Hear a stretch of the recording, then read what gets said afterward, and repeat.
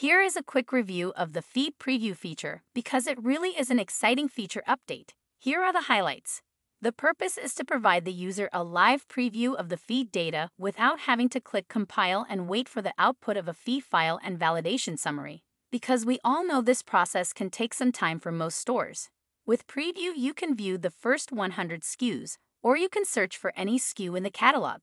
You can click this button here to expand and get an even better view of the displayed table and SKU info. When you click into a SKU, you are viewing every process that is applied to this SKU, this is awesome. In the expanded view here, you can also see the before values, which are the original import values, and the after values, which have been transformed. So for troubleshooting, you can review example SKUs a customer provides you to see where any mistakes or hiccups are occurring along the data transformation process. Also, it will show products that are excluded in the feed, and you will be able to see at what stage of the process they are being excluded.